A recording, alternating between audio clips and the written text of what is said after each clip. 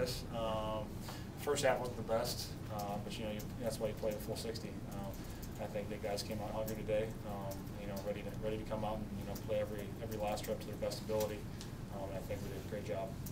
Joe, you guys showed some resiliency in that first half. About three plays didn't go your way, and you guys uh, showed some toughness there. Yeah, we had some communication errors, um, some different coverage errors that we had, uh, and you know it was, it was good to be able to you know come back in the second half and be able to fix most of those, um, keep their drives short, mostly a lot of three and outs.